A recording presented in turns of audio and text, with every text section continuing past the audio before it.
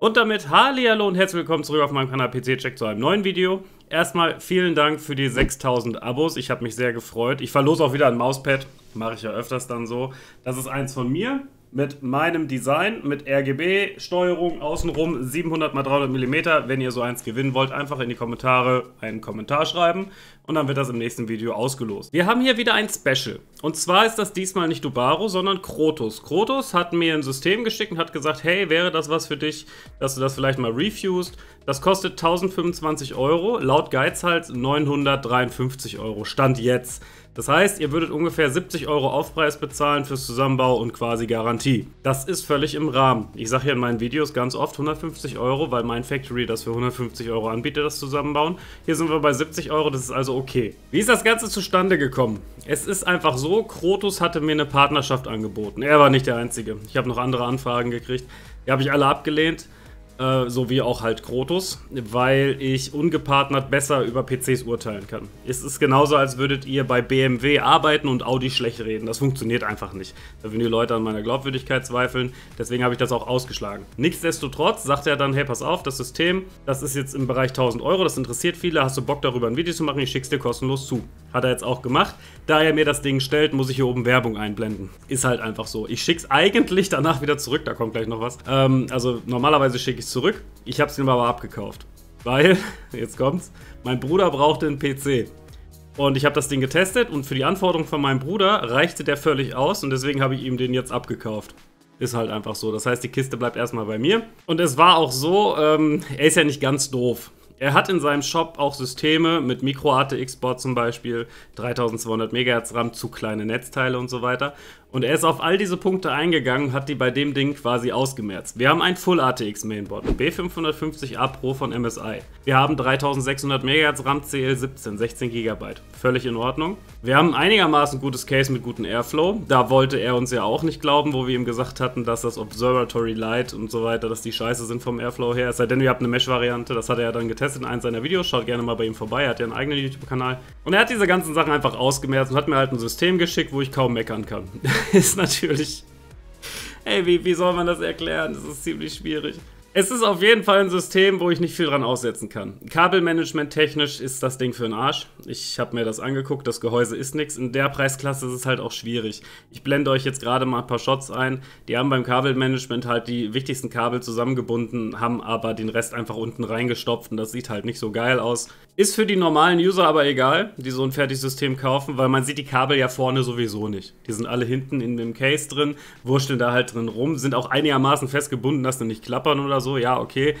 Aber es geht auf jeden Fall sauberer. Es ist auch kein Pre-Selected-System. Pre-Select bedeutet, dass er quasi ein besonderes Augenmerk bei dem System hat, sich besonders viel Zeit lässt und mir dann zuschickt. Nein, ich habe acht Tage darauf gewartet. Ich habe reingeschaut und das ist auf jeden Fall nicht Pre-Selected. Kurz dazu, was ihr so dazu kriegt. Also, ihr kriegt erstmal klar den PC. Stromkabel und so, keine Frage. Der ist in einem Karton von dem Gehäuse und das wiederum ist in einem noch größeren Karton zum Schutz. War bei Dubaro genauso. Bei Dubaro hatten wir aber den Unterschied, wir kriegten noch ein paar Hardware-Verpackungen dabei, Grafikkarte und Netzteil und solche Geschichten, beziehungsweise Mainboard war dabei, glaube ich. Ihr habt überhaupt keine Umverpackung. Wenn ihr also drauf steht, euch einen Grafikkartenkarton irgendwo hinten ins Regal zu stellen, kriegt ihr nicht dazu. Den behält er, aus welchen Gründen auch immer. Ihr kriegt wirklich nur den Computer. Dann bekommt ihr ein herzlichen Glückwunsch-Kärtchen. Ich blende es hier in groß nochmal ein, weil so ein klein sieht man es eh kaum. Da wird halt gesagt, ja, danke, dass du uns unterstützt. Der, der das Ding zusammengebaut hat, beziehungsweise diejenige, war halt seine Frau, steht der Name drauf. Ist also wirklich noch ein kleiner Laden, sag ich mal. Ja, also kann man mit Dubaro überhaupt nicht vergleichen. Deswegen, ich finde sowas immer ganz süß eigentlich. Dann kommt dazu Einrichtung deines Computers. Nehm das Ding aus dem Karton und dann nimm die Transportsicherung auf jeden Fall raus, weil wenn ihr das dann einschaltet, habt ihr auf jeden Fall schlechte Temperaturen oder irgendwas klackert oder so, nimmt auf jeden Fall diese Transportsicherung und so weiter raus. Und schließt bitte euer HDMI-Kabel Kabel an der Grafikkarte an.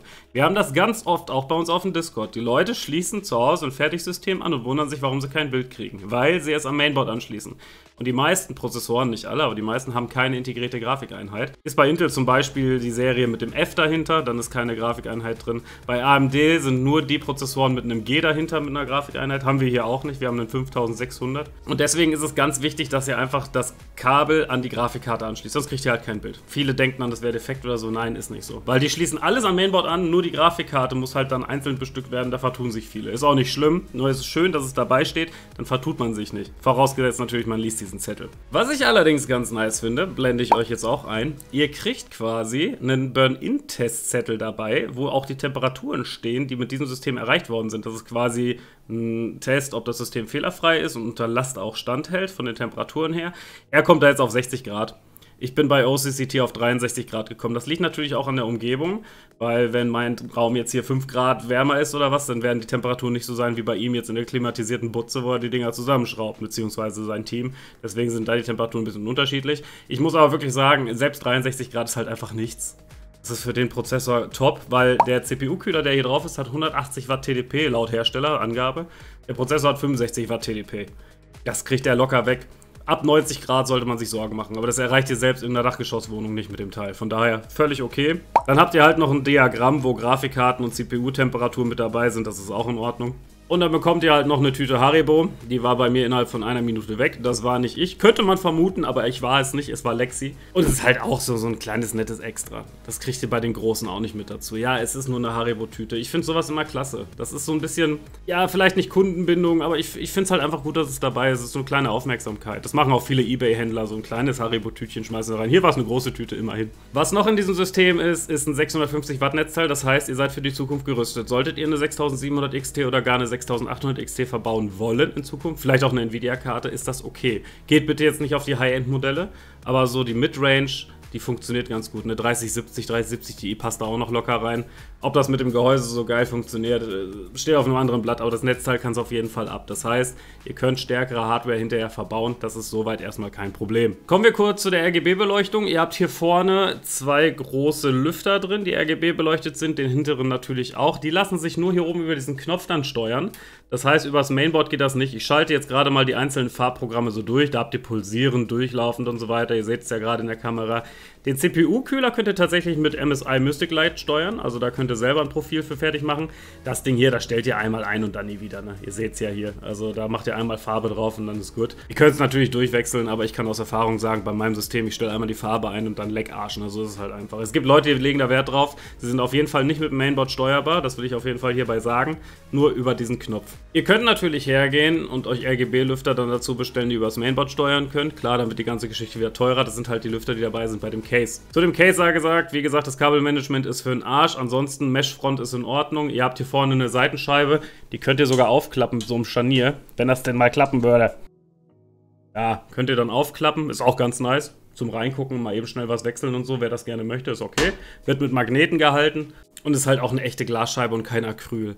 Ich reg mich gerne über Acrylscheiben auf, weil die zerkratzen schnell sehen billig aus, das ist Mist. Das ist eine Glasscheibe, das ist in Ordnung. Genug Platz ist im Case erstmal auch. Irgendwann, wenn ihr jetzt auf die Idee kommt, Wasserkühlung und so weiter, wird das alles sehr, sehr eng. Wir hatten schon mal so ein ähnliches Case hier bei uns privat und das war dann nicht so das Wahre, das war von Azza. Auf dem Preispunkt reicht es auf jeden Fall aus. Wer auf das Kabelmanagement nichts gibt, das ist okay.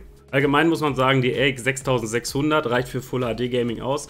WQHD wird schwierig. E-Sports-Titel funktioniert, AAA-Titel WQHD würde ich lassen. Ihr habt in Full HD teilweise so 50 bis 80 FPS, je nachdem. Die Benchmarks kommen gleich noch. Ist so aufgebaut wie bei das Dubaro-Video. Die Benchmarks kommen zum Schluss. Also für Full HD Gaming reicht das System dicke. Wer mehr möchte, muss halt einfach mehr ausgeben. Ist halt einfach so.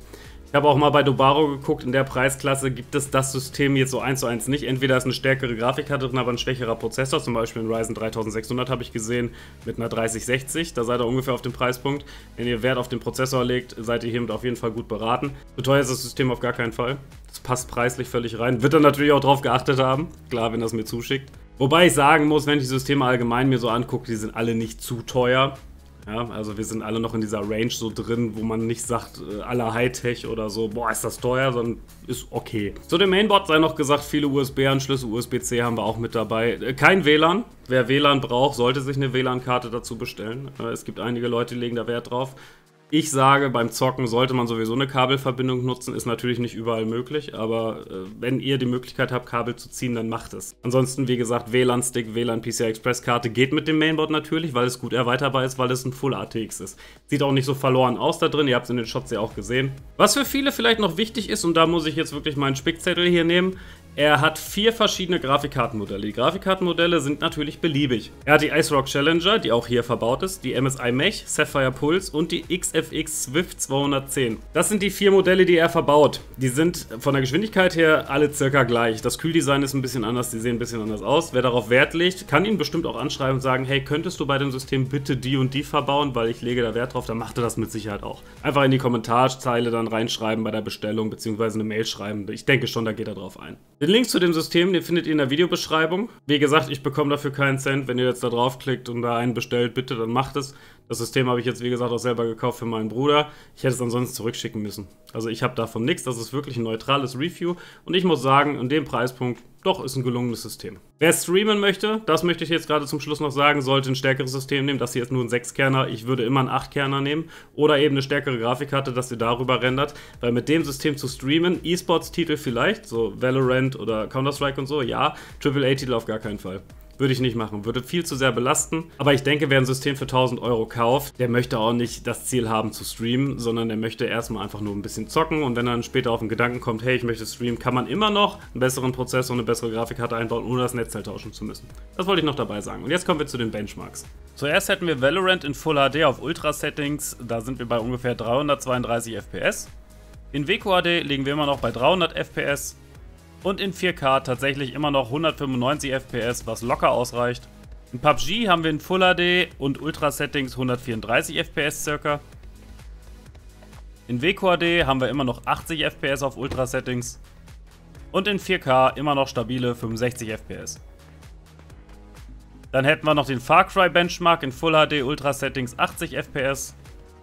In WQHD circa 65 FPS in Watchdog Legion Ultra Settings in Full HD 58 FPS im Benchmark. In WQHD 40 FPS im Benchmark. Und in Cyberpunk haben wir in Full HD ca. 53 FPS im Benchmark auf Ultra Settings ohne Raytracing. Und in WQHD haben wir 30 FPS. Das ist der Grund, warum ich sagte, lieber in Full HD spielen.